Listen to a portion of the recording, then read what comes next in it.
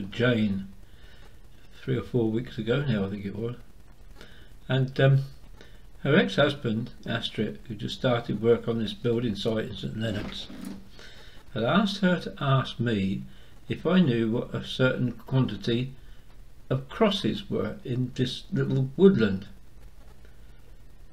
And he told me roughly where he was working. And apparently he was quite kind and said, with people he knows, I should. Well, that's not necessarily the case, but I had a guess, knowing that at that particular site there used to be a convent school, that it was a graveyard for the nuns. And a little bit of initial research found out that that was indeed the case. Little did I know that that simple question, when I started digging further, was going to get me more into a piece of what I might call investigative journalism rather than my normal walkumentary type program. Um, but I discovered it was a story that had to be told. Another one of these things which will just disappear from the place if um, if the story's not told now. So let's embark on an intriguing little investigation into the matter of a headless statue and a bunch of crosses. And we will start back at the year 1710. Outside St Paul's Cathedral, having been completed by Christopher Wren, he then commissioned a statue of the then Queen Anne to be erected outside in the cathedral grounds. And this was indeed completed in marble by Francis Bird in 1712. It was not without controversy because Queen Anne was a Protestant and there were still quite a lot of people in this country and Scotland who felt that she shouldn't be there, it should be a Catholic king and the statue was vandalised from time to time and attacked with different bits and pieces. So by 1868 it was actually in quite a bad state. And along came a gentleman called Augustus Hare, of whom you'll find out more in a minute. And he paid a, a rather scurrilous character called Richard Belt in about 1868 to uh, build a replica. Well, this Richard Belt was a real charlatan. Before he even had a chance to do much, he was jailed for fraud and all sorts of things. So the replacement was actually completed um, by a gentleman called Louis Auguste Malempré. Now, at that point, the original statue disappeared. And we'll have to come back to the story later.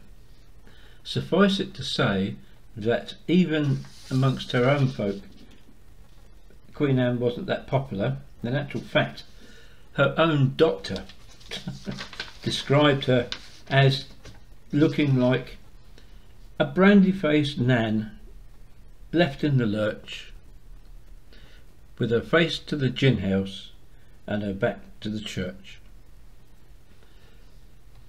But like I say, then the original statue disappeared. Interesting. Now, just to bring you right up to date, this is the building that stands beside the plot.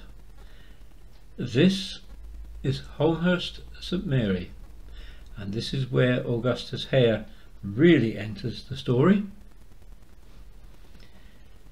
He, funnily enough, has a connection with the previous video I made about walking the promenades in Eastbourne when I talk about the Eastbourne Aviation Company because he for a while lived at Herstmonceux with Bernard Fowler and the family who made the monetary grants to build the aviation factory. But Augustus Hare made his money from writing. He was a well-known travel writer and autobiographer, and in his later autobiographies also talked about meeting with ghosts here. Um, the, the, workmen told Astrit that the crosses were, were witches' graves, and I suppose that might have been a story told to keep people away. I don't really know. Um, but he saw the huge estate known as Holmhurst St Mary and decided to buy it.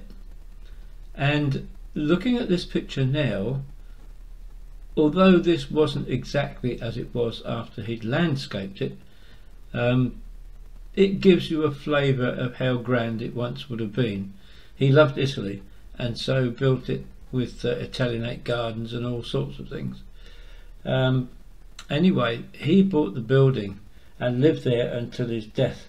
Uh, I think it was 1903 he died, or thereabouts. And uh, he built additional buildings. They had a quarry in the estate, so he used all local stone to make additional buildings. Um, as I say, quite a large estate, a lot of topiary he had brought in, and he built a lot of different walks and parkland areas, uh, which we shall see a little bit more later. Um, after his death, the family that owned it allowed it to go into a bit of rack and ruin until Sister Agnes of the community, now I've got to get this right, community of the Holy Family. So Mother Agnes Mason, as she became, saw this house and wanted to establish a convent at a place where ladies of all ages could receive an education. She saw this, of course, all the Italian design and all the rest of it. She loved Italy too, and she thought, this is Italy. So on behalf of the movement, she bought it and they set about converting it into a school and a convent. They, they built a new convent um, building. They also built a new chapel and a library and classrooms. As I say, it was a huge estate and um, there they settled for quite a few years. They must have got quite a bit of money at some time because in 1969 an application was made to the local council to expand. I promise you we will get to some real video before too much longer but this is more of a story than anything else. Here is the original planning permission and here is a map of the area owned by the convent and you can see how large it was. The yellow oval shows you where the Conquest Hospital is now. The blue oval is where Holmhurst is and the red arrow points to the ridge heading towards Bath. Well access to see the back of the house is not easy um, but you do get an idea from this view of how Augustus Hare managed the grounds although this is a very very small part of what he did but you can still see some of the uh, Italian sculpture there. Fortunately the main house has been preserved. It's now apartment blocks and that. There's obviously a little family lives there. So it's rather nice to see that this won't be lost. Now after the noise in the background on the last one I've um, reduced the noise now to give you some comparison as to how noisy it was. This is Holmhurst St Mary with extra buildings added made of stone from the quarry within the estate. Augustus Hare added to them and you'll see the inscription over the door there. Hopefully you Pax Intrantibus Salus Exeuntibus Benedictio Habitantibus Peace to those who enter, good health to those who leave, blessings on those who abide.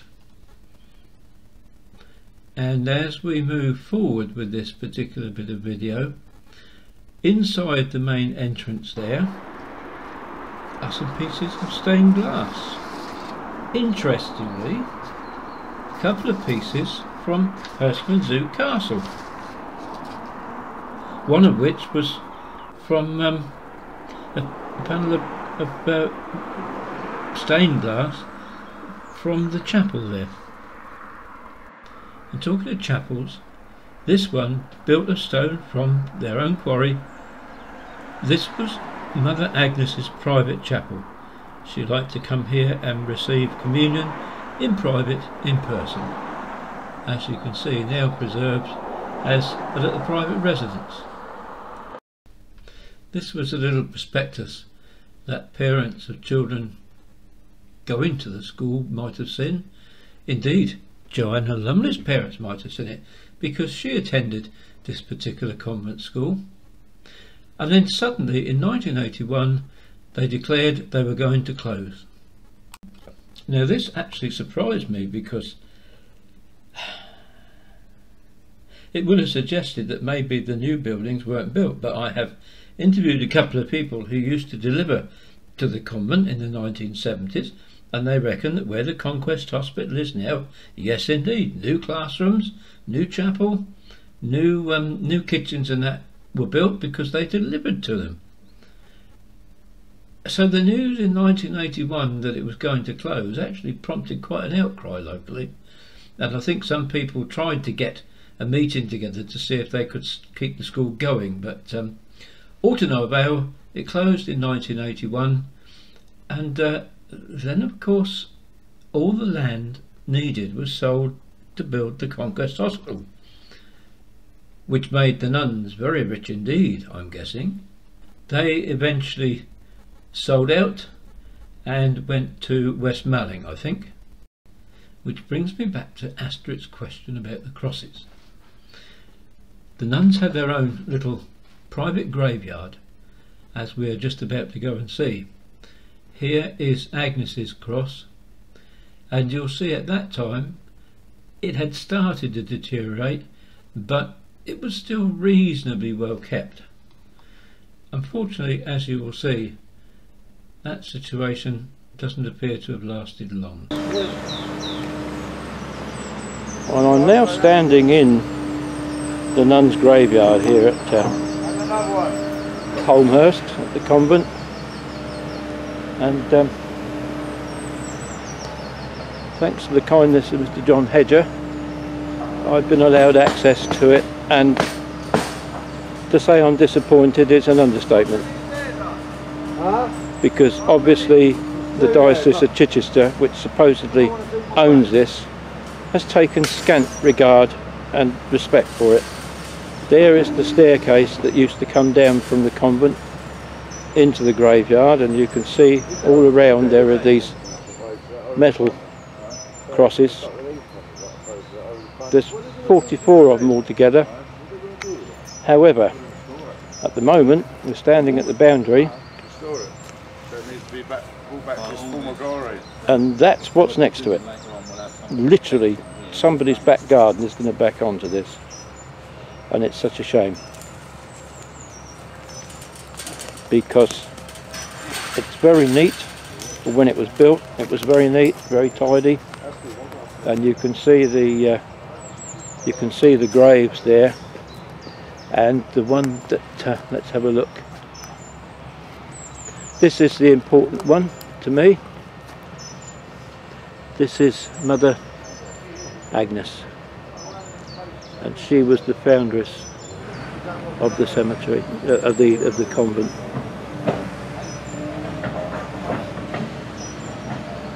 as you can see there was a nice little terrace built here.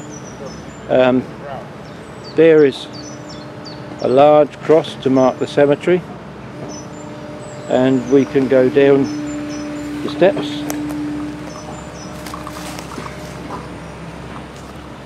And into the bottom here where we'll find another row of crosses coming along here so they're all wooden to start with. And um, they have been replaced at least by something a bit more permanent.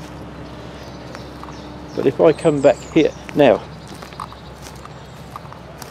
looking down there that bit is going to be somebody's back garden.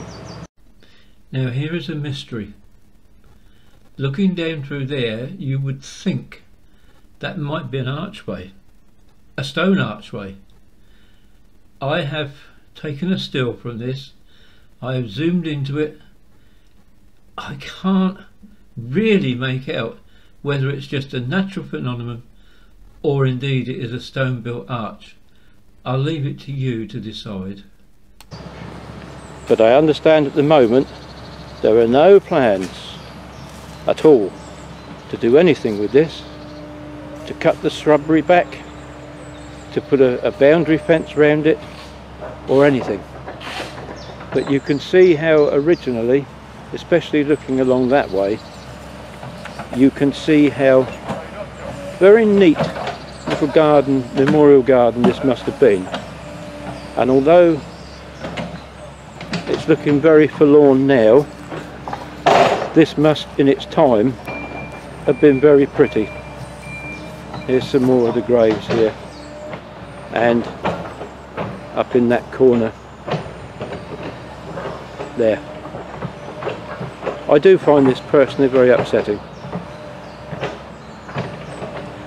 I hope they'll forgive me if, if I've trampled over anything I shouldn't. But again, there is there is the cross. But you'll see from the material behind, the scenery behind, just how close the new development is coming. As I say, I, I thank the uh, the groundwork management very much for allowing me in here to film. I'm going to have to go now because I've only been allowed a certain amount of time. Um, if there's anybody in any contact with the Diocese of Chichester who I understand are responsible for this, perhaps you could kindly tell them to get their backsides over here and treat this ground with a little more respect.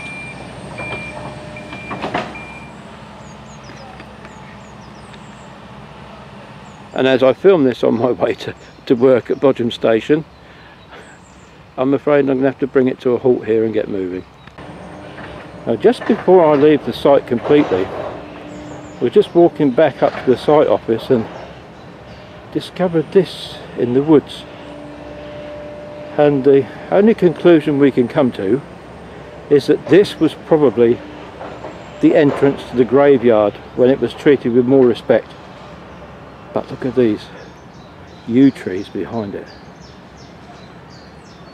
Aren't they lovely? Now if only I could speak tree, I could ask them what the hell's been going on here and they would be able to give me an answer. But obviously out of the old convent, and this might predate the convent, this might be part of Augustus Hare's doing with his landscaping of his garden, but it does seem to me that uh, John was right. It's a, a little pathway along through the woodland and as you come round the corner before all this stuff was built up over it you would approach on two or three levels a nice little well kept graveyard down the steps nicely landscaped and you could treat it with the respect it deserves now it's possibly a playground for vandals if they could ever get themselves in here and if something's not done to protect it I'm very much afraid that's what might happen and it's such a shame. Now this is a, another bonus. Some of the lads who work on the site were just walking through the woods the other day seeing, clearing out ready for marking and we found out that although I can't get an angle to get it the right height these are these two at least are the graves of Augustus Hare's hounds. Rollo and difficult to read that one properly.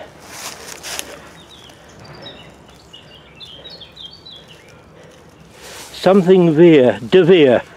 I would guess that's De Vere on that one.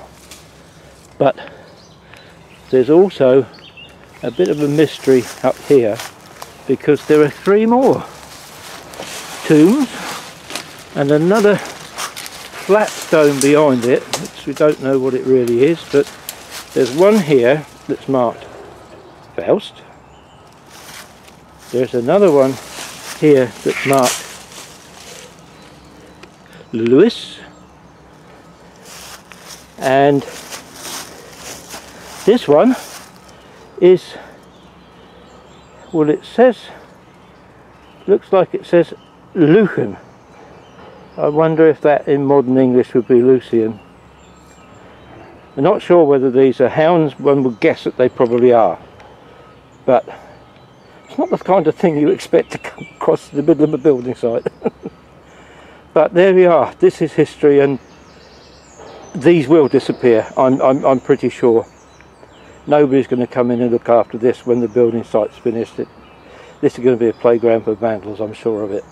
And again, it's such a shame, but I do thank the folk here at the site for allowing me access to record these before they disappear forever. So thank you very much, John. I appreciate that. You're more than welcome. You're very if I can kind. do anything to restore these, I will. Thank you. That's good to know. Well, I'm coming towards the end of the story now, and I'm in Elbridge Way, which has been built on land formerly occupied by the convent, the chapel, and the library. This is definitely one of the old convent buildings. I don't think there's any doubt about that whatsoever.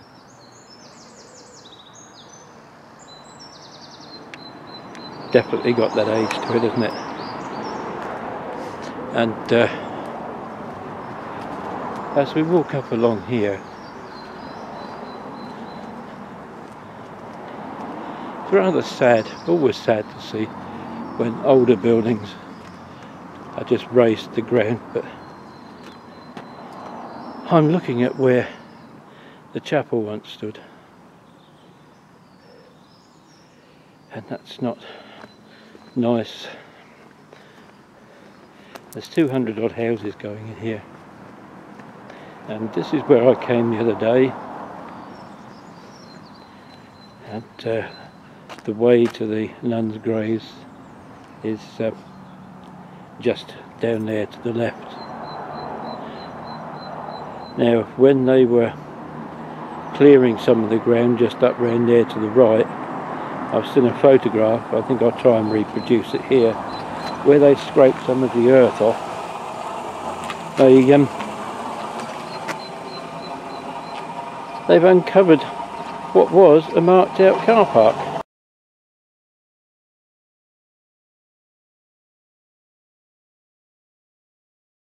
I don't know where that car thinks to be going. but anyway, here we are. This is the entrance to the building site. And I think we've probably just about come to the end of our story. Or have we? Let me show you Francis Bird Place. Now, Francis Bird, you might remember when I said right at the very start, we introduced this with the statue. Francis Bird was the sculptor who made the statue back in 1712 that sits or sat outside of St Paul's Cathedral. Now I would assume that as this is spelt Francis with an I, that this little place is actually named after him. However, my investigations and interviews with one or two people who know a little bit about this place or remember it from times past.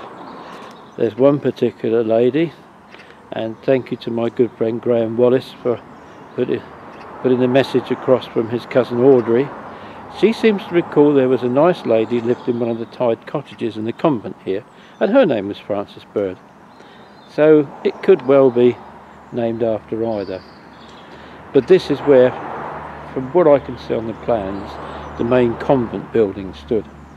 Although these buildings here on the left I find a little confusing.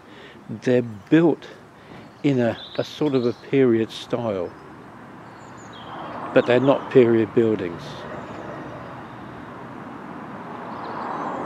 These would have had to have been built in the 1990s, I would be guessing. I don't think they're even the old convent. But no, no, the convent itself was knocked down. I'm sure I read it on the records. They remain a mystery to me. Suffice to say is I don't think they're as old as they look. But anyway, the statue. Interesting I should mention that.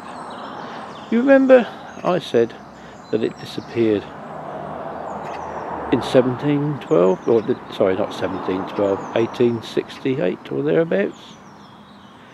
Wow. Come with me, and I've got something interesting to show you.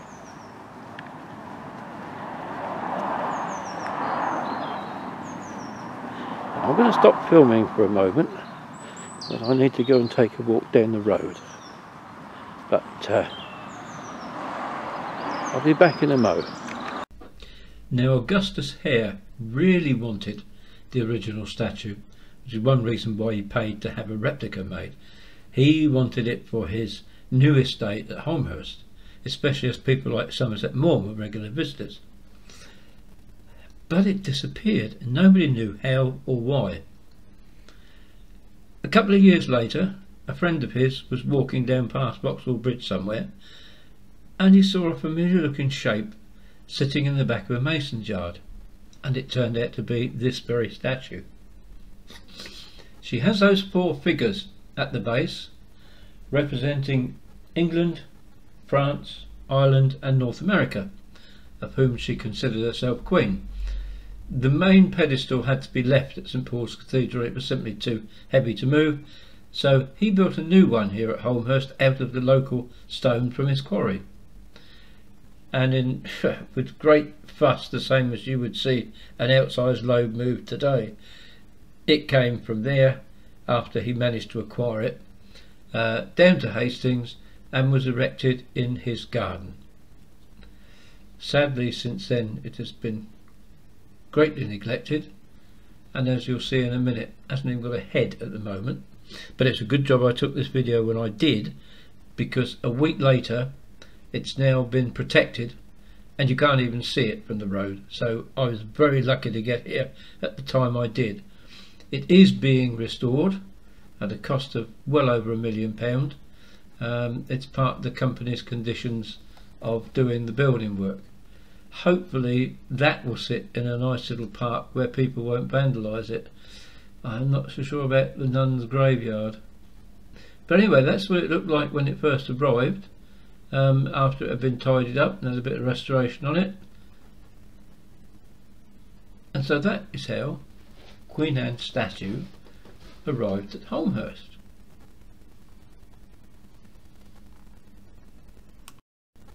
And here is the original statue dating from 1712. It's made of Carrara marble and will be restored with marble They'd started building this up. When I went back a week later to hopefully get closer to it, you couldn't see it. They'd built a big stone circle or cement circle round it to protect it. But it will be fully restored and uh, I think that's going to look rather good when it's done. Anyway, it, I was invited up into the offices and um, I was able to actually see and feel the new stone and marble that was going to be used. Well, I've been very kindly allowed into the office and uh, I've been told about the restoration of the statue. Going to cost over a million pounds. But I've got a couple of samples here. The plinth is going to be using this Wealden stone, which as you see has a lovely, lovely grain going through it. That's going to look very nice. And there's the marble which will replace the lost marble. This is a considerate building with the restoration and I think it it looks well for the future if we have more firms like this. Now I only had a week or so in which to do this because by that time the view of the statue had gone completely amazing what you can find out in a week so thank you very much to everybody whom I interviewed or asked questions of particular thanks to John Hedger site manager of Statom who allowed me access to the site I suppose strictly speaking we were trespassing but um, how else would anybody get there to record it before it disappears forever I have no idea what's going to happen to it John tells me that he's going to try and get permission to take his team in there to do a bit of landscaping and tidy it up. But uh, it would seem that it is the responsibility of the Diocese of Chichester. I hope they don't let it go to rack and ruin because it'd be vandalised before long. Similarly, the stuff to do with Augustus Hare.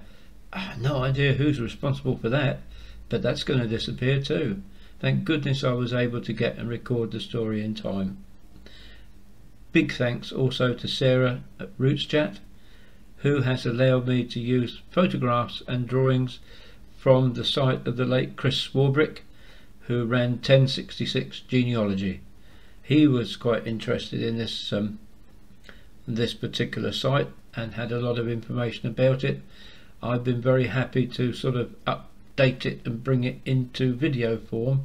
So do have a read of his information in conjunction with my video. I'll put a link in the description down below and hopefully you'll be able to find it.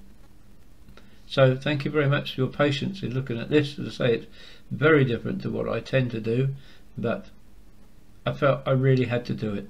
So thank you very much for looking.